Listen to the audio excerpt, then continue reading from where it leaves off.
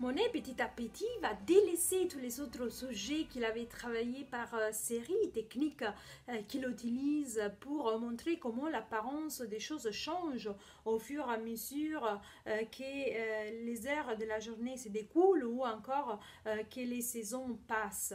il va utiliser cette technique, par exemple, dans la série des Meules, des Paupiers ou encore des cathédrales des rois.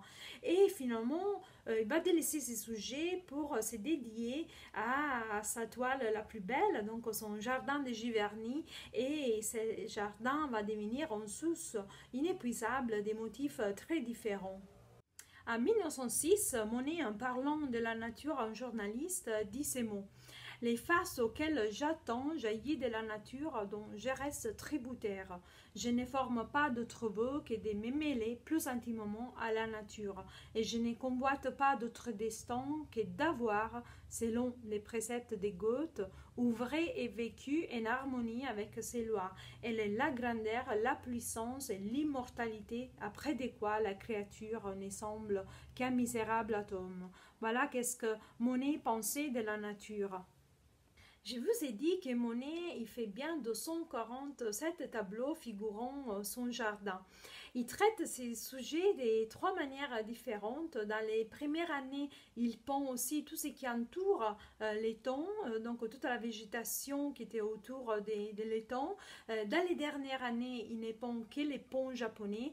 Et entre les deux, entre 1903 et 1908, il fait plusieurs tableaux figurant les d'eau. Il traite les miroirs d'eau par euh, série et il va pendre euh, par euh, des grands cadrages serrés des petites parties du miroir d'eau pour saisir les moments fugaces d'un rayon de lumière, comme si chaque petite partie qu'il pend faisait partie d'un grand passeur à composer par la suite. Donc, euh, on est déjà euh, dans la constitution quelque part euh, de ces grands tableaux décoratifs que Monet va faire par la suite.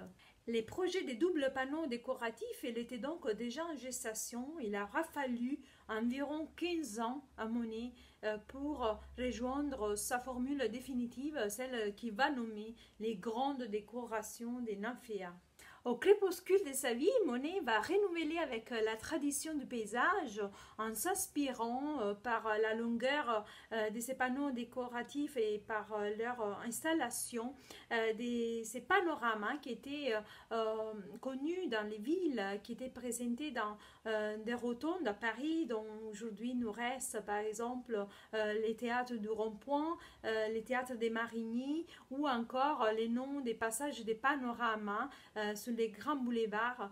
Euh, dans ces rotondes, en effet, il y avait des illusions spatiales à 360 degrés où les visiteurs ils étaient complètement immergés donc, euh, dans un environnement euh, nouveau. Ce sont en effet les ancêtres du cinéma.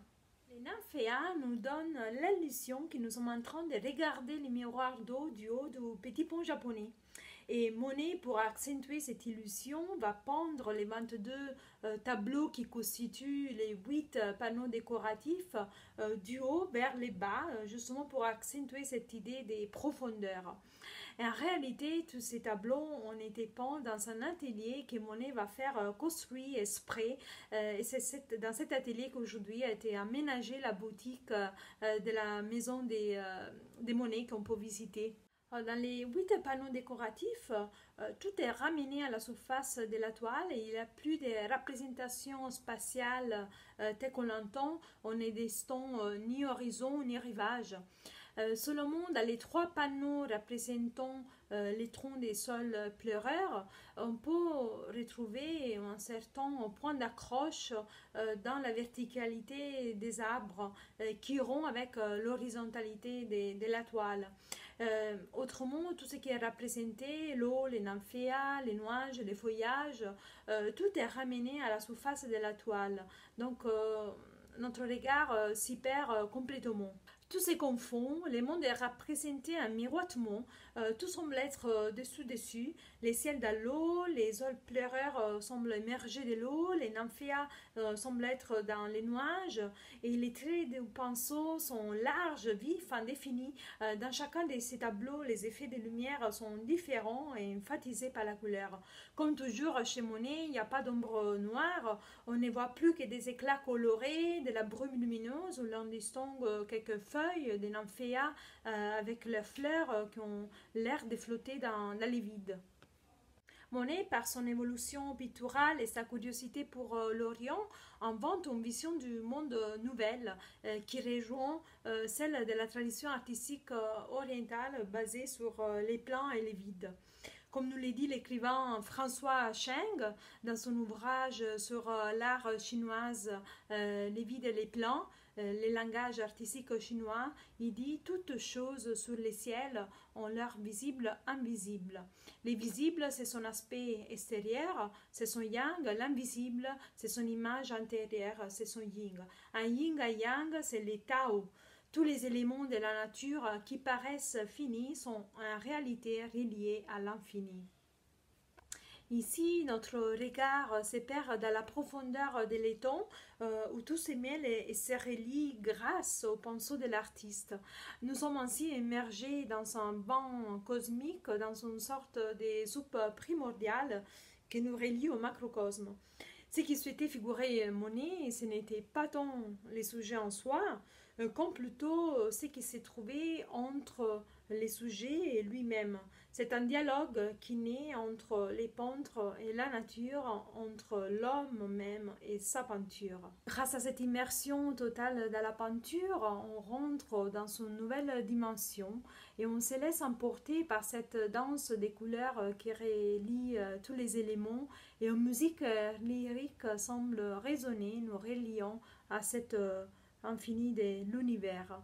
Euh, c'est tout ceci qui inspirera les artistes de l'art abstrait tels que Kandinsky, Georges Mathieu, Hans Hartung et Pollock et bien d'autres.